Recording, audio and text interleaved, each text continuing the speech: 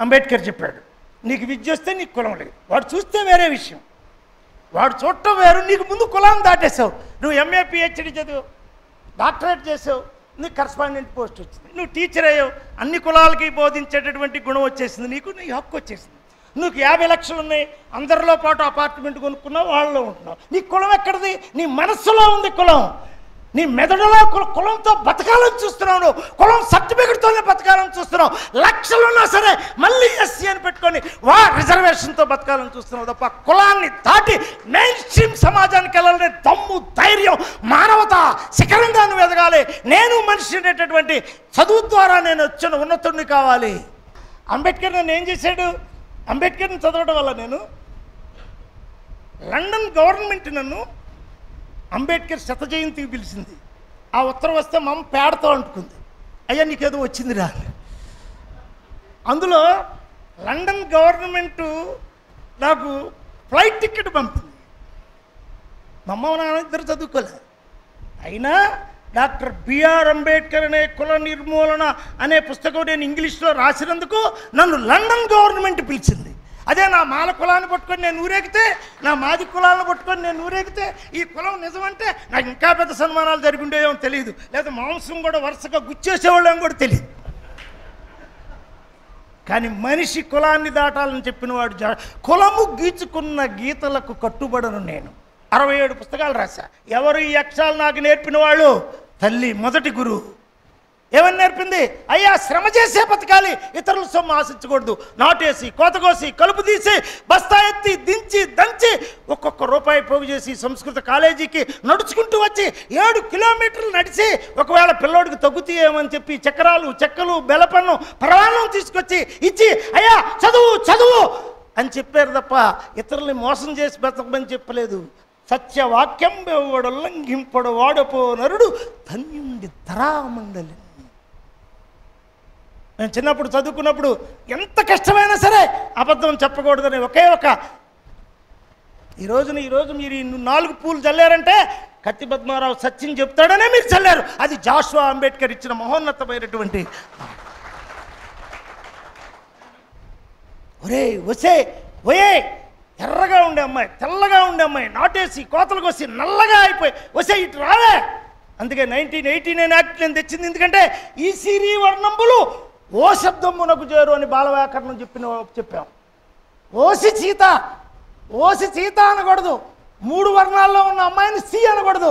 రజకురాలను దళితురాలనని ఓకి నీచార్థమునందు శివర్ణంబు బలుకు ఓసి సువార్త ఓసి మార్తమ్మ ఓసి కోటమ్మ అని వ్యాకరణం చెప్తే ఆశ్చర్యపోయి ఈ సీన్ తీసేయాలని చెప్పి నైన్టీన్ ఎయిటీన్ యాక్ట్లో ఓ అంటే నైన్టీన్ నైన్ యాక్ట్ ఓసి అనడా అవుట్. ఇవాళ జైల్లోకి వెళ్ళాల్సిందే. ఎవరు ఎవరు ఓసి అన్నా సరే. పెళ్ళాన్ని ఓసి అన్నా కూడా అవుట్ సి రవర్ణ ఓరి ఓరి కోటయ్య. ఎవడు ఈ ఓరి కోటయ్య? ఈ దేశాన్ని అందుకని ఆయన అన్నాడు. ఏమన్నాడు? ఈ దేశంలో సత్యవాక్యం పలికినోడే కాదు రాజు. అవతల పెరదౌసులో మహారాజు అబద్ధమాడాడు కవి శాపం పెట్టాడు. ఒక్కొక్క పద్యంబునకు ఒక్కొక్క నెత్తురుపుట్టు మేలులో తక్కువగా రచించింది వృధాశ్రమయ్యే కులీనుడైన రాజు కెరణిన్ ముషల్ అనుకునే కవితారుణం ఇయ్యకుండినే నిక్క మెరుంగరైతి ఓ మహమ్మద్ సుల్తాను నువ్వు నా చరిత్ర రాయమన్నావు. నీకు ఒక్కొక్క పద్యమునకు ఒక్కొక్క నెత్తురు పుట్టు మేనులో తక్కువగా రచించి నీకు ఇచ్చాను. నువ్వు వెండి నాణ్యాలకు బంగారు నాణ్యాలకు బదులు వెండి నాణ్యాలు పోసావు. నువ్వు చస్తావు మరణిస్తావు నశిస్తావు నీ రాజ్యం కూలింది. అంతే అవుట్ కవి శాపం పెట్టాడా? ఇందుకు కవి రాజుని తిప్పి కట్టాడు. రాజు నిప్పు కణికలు పోసాడు బంగారు నాణెములు బస్తాలకెత్తించి మదపుటేనుగుల మీద పదిలపరచి. ఎరా ముక్కోటి దేవతలు ఓం దాత పురస జహార చక్రాది చక్రిలే ధూపాలు నైవేద్యాలు బంగారాలు ఓ కొన్ని వందల వేల మంది బ్రాహ్మణులు ఓం ఓం ఓం అంటుంటే వాడు వచ్చాడు కత్తి తీసుకొని టక టక టక టక టక యుద్ధం చేశాడు దేశాన్ని జయించాడు బ- బంగారు నాణ్యాలు బస్తాలకు ఎక్కించుకున్నాడు మదపుటేనుగుల మీద. పురువింద మణులు గొలుచుకున్నాడు కత్తులు కడుక్కున్నాడు. రే ముస్లింస్ మహోన్నతమైన సైన్యులారా ఇక్కడంతా పుట్టి ఎందుకు పనికిరాని వాళ్ళు విగ్రహాలను కొలిచేవాళ్ళు వీళ్ళు? వీళ్ళ వల్ల ఏం కాదు మళ్ళీ వద్దాం రండి వెళ్ళి మళ్ళీ పలావు తిని మళ్ళీ వద్దామని పద్దెనిమిది సార్లు వచ్చి గెలిస్తే ఏం చేశారు మీరు? ముక్కోటి దేవతలు ఏం చేసింది? మీ సోమనాథ దేవాలయం ఏం చేసింది? మీ పురోహిత మంత్రాలన్నీ వాడికి ఒక్క శాపం ఎందుకు పెట్టలేదు? మీ యజ్ఞాలు యాగాలు చౌత్రామణి యజ్ఞాలు రాజస్సు యాగాలు అశ్వం మీద యాగాలు ఆ వాడికి ఏమి ఎందుకు అని అంటే ఈ దేశంలో ఈ దేవతలందరూ అబద్ధం అని చెప్పిన వాడు జాషువా గారు ఒక్కసారి మనందరం కూడా. వీళ్ళుగాక మనకి యేసు ప్రభు చాలామంది దేవుళ్ళు వచ్చేసారు మంచోడు ఆయన. ఎవరికి హాని చేయని వాడు మహోన్నతమైన వ్యక్తి. ఒక సెంటు భూమి లేదు. ఒక స్త్రీని అంటుకోలేదు. కానీ ఆయన పేరు మీద స్త్రీని అంటుకోవటం భూములుగా చేయటం అనే కార్యక్రమం జరుగుతూ ఉంది. ప్రభు యేసుక్రీస్తు నామమున ఈ పది ఎకరాలు నాది. ఈ వంద ఎకరాలు నాది. ఒక ఆమె మనం చెప్తుంది. ఏంటంటే మీ డెబ్బై ఎనభై సెవర్ల బంగారం వేసుకొచ్చింది మా ఇంటికి మా ఆవిడ భయపడుతుంది. ఆమెకు నాలుగు సెవర్లే ఉంది రోజు కుదవ పెడుతుంటాను నేను నెలకు ఒకసారి కుదవ పెట్టి వెళ్ళి తెస్తుంటా బుక్కులు వేయాల్సినప్పుడు. ఒళ్ళంతా బంగారం వేసుకొచ్చింది ఒక క్రైస్తవురాలు. అమ్మా స్వర్ణకుమార్ గారు దేవుడు ఇచ్చాడమ్మా నేనేం చేసేది? దేవుడు నన్ను దీవించాడు పైగా. ఇచ్చాడు కాదు దీవించాడు. ఒక మామూలు లెక్చరర్ యాభై డెబ్బై సెవర్ల బంగారం ఎలా వేసుకుంది? ముఖం చూస్తే వాడిపోయింది. ఒక కమలా తినదు ఒక యాపిల్ తినదు ఒక ద్రాక్ష పండు తినదు. ముఖానికి వేసిన రంగు పిట్లి పిట్లిపోతుంది. ప్రభువే చూసుకుంటాడు అన్ని పెడతాడని బంగారం మాత్రం కొనుక్కుంటుంది. వెనకటి రోజులైతే మేము ఆమెను పూజ చేసినప్పుడు ఈ బంగారం కూడా ఒక సెవర వేసేవాళ్ళం. దీనికి ఒక శవర వేయండి. అంటే ఎందుకు బతుకుతున్నారో తెలియదు వాట్ ఈజ్ లివింగ్ జీవితం అంటే ఏమిటి? అది జాషువా గారు ప్రతి చరిత్రని రాశాడు. ఫిరదౌస్లో గజనీ మహమ్మద్ వచ్చిన చరిత్ర రాశాడు. ముంతాజ్ మహల్లో రాజు మరణించే ఒక తారరాలిపోయే రెండో మాట ఏమంటాడు? తాజి విడువలేదు రాజసంబు రాజునొంటరి చేసి రాణి వెళ్ళిపోయింది. కానీ తాజి విడువలేదు రాజసం మనం కట్టింది వెళ్ళదు అందుకే మా నాన్నగారికి ఇప్పుడు స్తూపం కట్టాం. రక్తక్షేత్రం కట్టాలని ప్రయత్నిస్తున్నాం చుండూరులో రుద్రక్షేత్రం కట్టాం. చనిపోయినోడు మృతవీరుడు. చనిపోయిన వాడు యుద్ధంలో చనిపోయాడు. అక్రమానికి చనిపోయాడు. అన్యాయానికి చనిపోయాడు. వాడికి స్తూపం ఉండాలి. నీకు కాదు. దేశాన్నంతా దోచుకున్నవాడికి కాదు. అందుకు స్వతంత్రోద్యమంలో చనిపోయిన వాళ్ళలాగా నేను తీసుకెళ్ళి చుండూరులో పాతేసినప్పుడు అందరూ ఎందుకు చుండూరులో పాతేశారు? ఇక పెళ్ళిళ్ళు జరగమన్నారు. మరి ఢిల్లీలో ఇందిరాగాంధీని ఎందుకు పాతేశారు?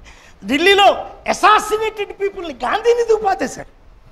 అసాసినేటెడ్ పీపుల్ దురాక్ దుర్మార్గంగా చెప్ప కాదు దళితులు అనేటటువంటి వాడు ఊడు మధ్యలోనే పాతేస్తాం. లేదు ఇంకొకడైనా ఇంకొకడైనా మానవుడు చనిపోయాడు. వాడు మట్టికి మట్టిగా దుమ్ముకు ధూళుగా ధూళికి ఎలా అవుతాడు? ఆ శాస్త్రం చెప్పాడండి జాషువ గారు భౌతిక శాస్త్రం చెప్పాడు.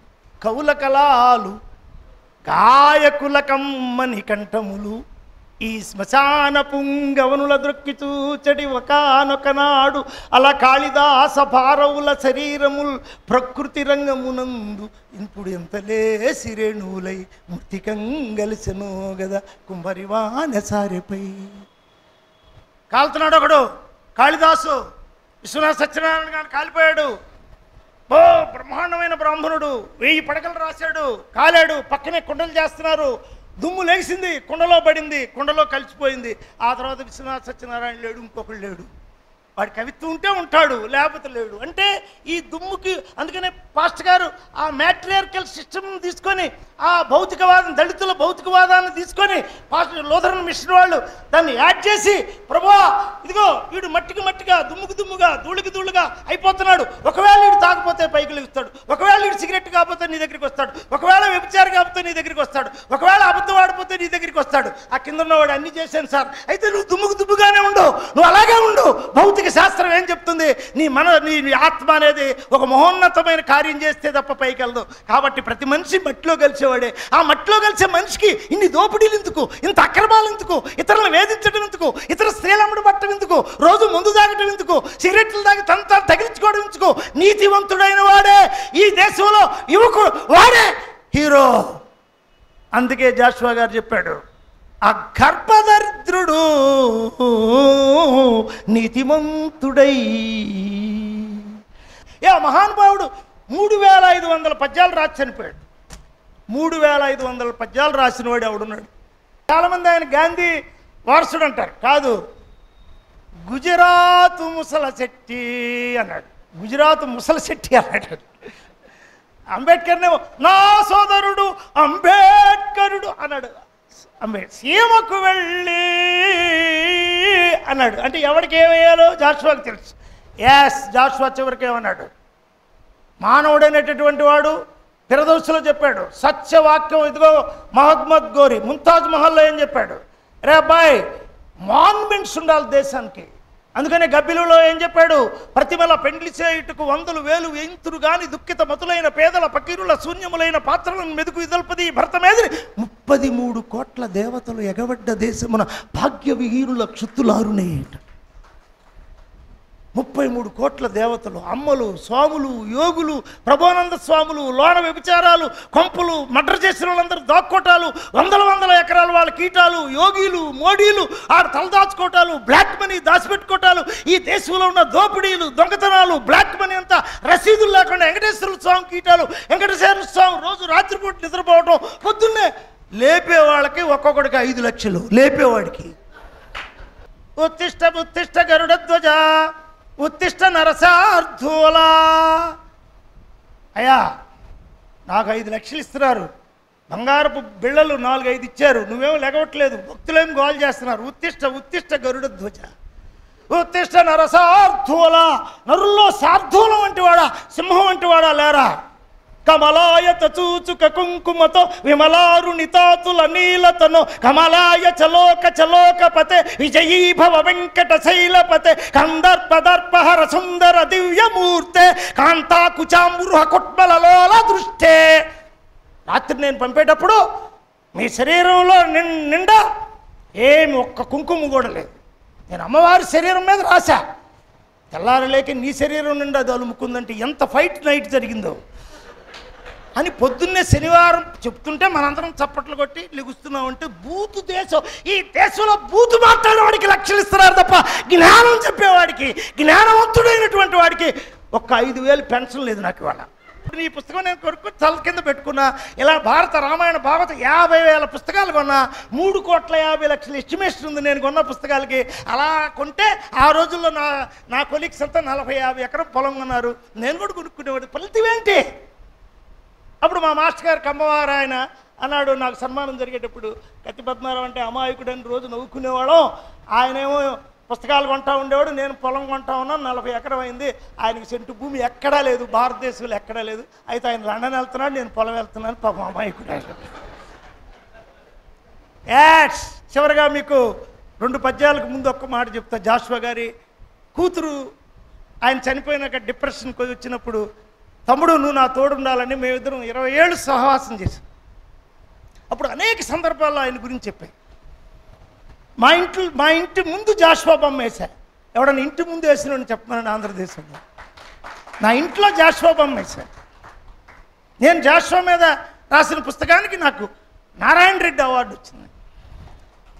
దళిత ఫాంతర్స్ నుంచి దళిత స్పిరిట్ని ఇవాళ దళిత మహాసభ దళిత ఉద్యమం వచ్చిందంటే జాష్వా వల్ల వచ్చింది. ఐడెంటిటీస్ నేను కూడా చాలామందికి అర్థం కాదు. ఈ ఐడెంటిటీలో మాట్లాడుతూ కులం లేదంటాడు ఏంటి అనుకుంటా? ఐడెంటిటీలో అంబేద్కర్ మాట్లాడాడు కుల నిర్మూలన రాశాడు. ఐడెంటిటీలో జాషువా మాట్లాడాడు కుల నిర్మూలన కులం దాటమని మేము చెప్పేది. అయితే వీడు వీడు మోగవాడు. మూక్ నాయక్ అనే పత్రిక తీశాడు అంబేద్కర్. గబ్బిలం ద్వారా చెప్పాడు. చిలకల ద్వారా చెప్పలా హంసల ద్వారా చెప్పలా గబ్బిలం ద్వారా చెప్పాడు. నేను కూడా జైల్లోకి వెళ్ళినప్పుడు నా జైల్లో గబ్బిలాలు వచ్చేసినాయి. డ్రాయరే ఉంది. నాకేమో యేసుప్రభు పాటలు ఇవి చిన్నప్పుడు ఇవన్నీ వచ్చు. కానీ తెల్లారుజాము అయ్యేటప్పటికి నాకు భయం వేసింది. మనమే మిలిటరీ నుంచి వచ్చిన వాళ్ళం కాదు కేవలం ఎన్సీసీఏ గబ్బిలాలు వచ్చి పడుతున్నాయి. చాలామంది చచ్చిపోయారు ఆ సెల్లో. ఎన్టీ రామారావు గారు ఈ కుర్రోడు బతుకుంటే అంత ప్రయోజనం కాదు ఆవేశంగా ఉన్నాడు. ఇతను పోతే మంచిది అని ఆయన ఆలోచిస్తున్నాడు. అందుకే హ్యాంగింగ్ సెల్స్లో వేశారు. ఆయనది మంచి ఆలోచన. రాజ్యాన్ని ఎదిరిస్తే ఎవడు ఊరుకుంటాడు? మరి లోన్ వేసాడు అప్పుడు నాకు ఒకే ఒక పద్యం గుర్తొచ్చింది. ఇందాక పడిన ఆముదం అప్పటికి కథలు ఎవరు? అప్పుడు కలదేని రుణానుబంధమే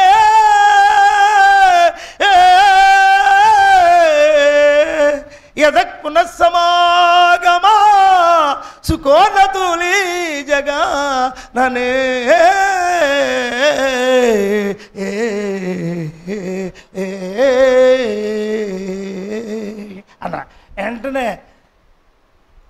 నక్సలైట్ సెల్లో నుంచి నల్లన్న.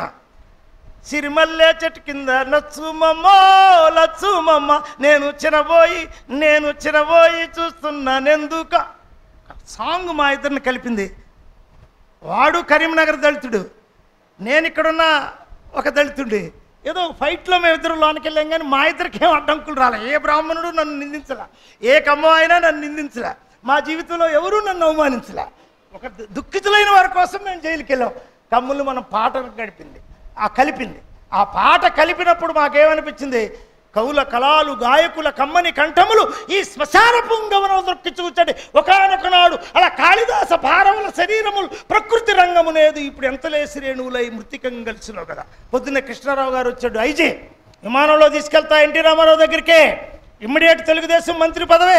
ఈ దళితులు ఎప్పుడు మోసగాళ్ళే నిన్ను మోసగిస్తారు. ఎందుకు నీ సేవ చేస్తా అన్న? వెంటనే ఈ పద్యం చదివి కవుల కళాలు గాయకుల కమ్మని కంఠములు. మళ్ళీ మనం మట్టిలో కలిసిపోవాల్సిన వాళ్ళవే. సత్యవాక్యం బేవాడు ఉల్లంఘింపుడు వాడే వాడు. ప్రాణం పోతే సత్యమే నిలబడితే కత్తి పద్మారావు మళ్ళీ సత్యంగా లేస్తాడు తప్ప ఎన్టీ రామారావు కాదు ఏ మంత్రికి ఏ ముఖ్యమంత్రికి లోపడి దేర్ ఇస్ ఫిలాసఫీ అంబేద్కరు ఎవరికి లోబడలేదు. హిందూ కోడ్ బిల్ రచించాడు ఆయన. నెహ్రూ ఎదిరించాడు. క్యాబినెట్ ఎదురుగైంది. రాజ ఫస్ట్ టైం క్యాబినెట్కి రాజీనామా చేయటం భారతదేశంలో నేర్పాడు ఆయన. పాస్ పడుతుంటే ఒక్కొక్క పట్టు పాస్ పడుతుంటే ఆయన పై పెట్టుకొని రాజ్యాంగాన్ని రచించాడు. కొన్ని వందల ఆర్టికల్స్ని ఆయన రచించాడు. అమెరికా అమెరికా నుంచి ఆయన డెమోక్రసీని తీసుకొచ్చాడు. జాన్ డ్యూ డెమోక్రసీని తీసుకొచ్చాడు. ఫ్రెంచ్ రివల్యూషన్ నుంచి స్వేచ్ఛ స్వాతంత్ర్య సౌభాతృత్వాన్ని భారతదేశానికి అందించాడు. The constitution itself is liberation ప్రతి మనిషి స్వేచ్ఛగా ఆలోచించమంటే వీడు కులంతో ఆలోచిస్తున్నాడు ఒకడు మతంతో ఆలోచిస్తున్నాడు.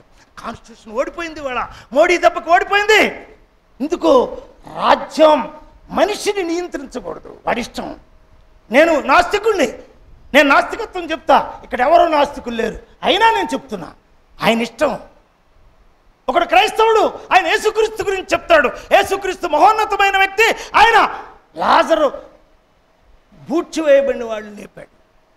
నేను శివలూరులో పూడ్చివేయబడిన వాళ్ళని వాడిని లేపి వాడి కడత మీద ఉండేటటువంటి ఆ అద్దు వల్ల ఒకరికి శిక్ష ఇచ్చా. ఏడో అంటే రీ రీపోస్ట్ మాత్రం కనిపెట్టా. యేసుక్రీస్తు ద్వారా నేను రీపోస్ట్ మాత్రం చేయించే శివలూరు కారంచేడులో చనిపోయినటువంటి వాళ్ళని ముక్కలు ముక్కలుగా నరికినటువంటి వాడిని ఏ కత్తులు కటారులు ఈటలు బాకులు తీశారు. మాలమాదిగలు అంటే సామాన్యులు కాదు. వాళ్ళ ఇంట్లో కత్తులు కటారులు ఉంటాయి వాడి కొడవలతో కొడవలు కోస్తాడు. అందరూ కత్తులు ఎత్తారు. వద్దు అని చెప్పా. రక్తం వల్ల ఏం సాధించలేము. శిక్ష ఇద్దామన్నా ఈడొక్కడెవడరా? ఈడేదో అప్పుడు నేను చిన్నప్పుడు సండే స్కూల్ బ్యాచ్ నేను. ఇది కత్తి పద్మారావు గారి పరదేశం బ్యాచ్ ఈయన ఓ సంఘమో బ్యాచే ఈయన వద్దో వేసేద్దామన్నారు ఆపే. ఆపినందువల్ల ఈ దేశంలో రక్తపాతం ఆగింది. మళ్ళీ ఆ జల ఆ కులాలన్నీ కలిసిపోయినాయి. మళ్ళీ ఒకడికొకడు చంపుకోట్ల. అన్న అక్క బావ అనుకుంటున్నారు. టైం తీసుకున్నారు. అవును వీళ్ళు కూడా మానవులేని వాళ్ళు గమనించారు. అంతవరకు టైం ఇచ్చాం. తప్పు చేసిన వాడిని శిక్షించాం. మిగిలిన వాళ్ళు కలిసి ఉంటున్నారు దట్ ఈజ్ హ్యూమనిజం పొయిట్రీ అంటే హ్యూమనిజం ఆ హ్యూమనిజాన్ని తీసుకొచ్చిన వాళ్ళు ఇతరే ఇతర భారతదేశంలో ఒకడు డాక్టర్ బిఆర్ అంబేద్కర్ కుల నిర్మూలన మరొకడు కవిత్వం ద్వారా జాషువా. జాషువా రాసిన అన్ని పుస్తకాల్లో మహోన్నతమైన పుస్తకంగా గబ్బిలం రెండో పార్ట్ ఎందుకుందంటే ఒకడు రుద్రాక్షమాలికలు నెత్తికి జుట్టి శివమూర్తి అయి భూమికి అవతరించు. ఒకడు ఊర్ధ్వపుండ్రంబులు రూగా దగిలించి శివలింగమును చూచి చెదరించు. ఒకడు రెండును గాని వికట వేషము దాల్చి పైవాని చూచి సవాలు చేయు. ఒకడు ఇవన్నీ కాదురా మాది ఘనమైన మతం రెండయ్యా రండి అని చెప్పి ఒకడు ఎంట పడతాడు. ఈ దేశం మతాలతో కులాలతో మాడిపోతుంది. మనుషులు సృష్టించు అన్నాడు కపిలవులు ఆయన. అందుకే అన్నాడు జాష్వా గారు భోగులు ఆహరించు భుక్తి కన్నుల చూసి దుఃఖపడని చోటు కావాలి నాకు అన్నాడు. నాకు దేర్ ఇస్ ప్లేస్ ఓ కపిలవా ప్లేస్ చూపించు నాకు. భోగులు ఆహరించి భుక్తి కన్నుల చూసి పరమపేదలు దుఃఖపడని చోటు కావాలి. నాకు అది కావాలన్నాడు ఏ కమ్యూనిస్ట్ చెప్పాడు? పద్యంలో చెప్పడం అంటే సామాన్యమా? అందులో శ్రీనాథుడు గమకం ఉంటుంది ఈ పద్యం. ఇప్పుడు నేను పద్యాలు చదివానంటే మామూలు పద్యాలు వస్తాయా? విశ్వనాథ పద్యాలు వంద పద్యాలు నాకు రావు. ఎందుకు? ఆయన గమకం లేదు. గమకమే కానీ గమకం లేదు. అక్కడ ప్లేస్ ఇది లేదు. హ్యూమనిజం లేదు. మనిషి లేడు. అందుకనే ఈరోజు మీకు నేను చెప్తున్నాను. ఈ రెండు ఈ సాలు కప్పినందుకు ఈ ఈ ఈ ఈ పువ్వుల గుర్తిచ్చినందుకు నేను ఆనందపడుతుంది ఏంటంటే ఆశ్చర్యం ఈ దేశంలో నలభై ఏళ్ళు సాగిత్యవేత్తకి నా పక్కనున్న ఊరు నాకు అరవై ఐదు ఏళ్ళు వచ్చినాక కానీ ఒక దండేలా అటువంటి దేశంలో నేను బతుకుతున్నాను నేను వాటి కోసం ఆశపడలా. అందుకే నేను సంతోషంగా నేను మొదట అనుకున్నా ఏ పూలదండ కోసమో ఏ బిరుదు కోసమో దేనికోసమో మనం తలంచకూడదు. ఈ దేశంలో ఉన్న పేద ప్రజల కోసం వాళ్ళ దుఃఖాన్ని నివారించడం కోసం వాళ్ళ దుఃఖ కళాల్లో నుంచి అగ్ని కళాలు తగిలించడం కోసం విప్లవం విప్లవం ప్రవహించేది విప్లవం ధ్వనించేది విప్లవం విప్లవ కంఠాల స్వరం ఎదగొంతుగా చీల్చుకొని నియంత్రణను చీల్చుకొని దడుపు జడుపు లేకుండా శంఖారావాన్ని పూరించేదని నేను చిన్నప్పుడే రాశా. Yes there is two forces for me రెండు గుణాలు నాకున్నాయి. ఇద్దరు నన్ను నడిపించారు. ఒకరు మా అమ్మ మా నాన్న ఆ తర్వాత జాషువా ఆ తర్వాత మహోన్నతుడైన అంబేద్కర్. యేసుక్రీస్తు కూడా మేము చిన్నప్పుడు సండే స్కూల్ కాబట్టి ఈ మందు తాగపోవడానికి కానీ సిగరెట్లకు కానీ అమ్మాయిలు వైపు చూడపోవడానికి కానీ ఆ మహోన్నతమైన సండే స్కూలు ఎథిక్స్ నేర్పింది. దానికి కూడా నమస్కారం.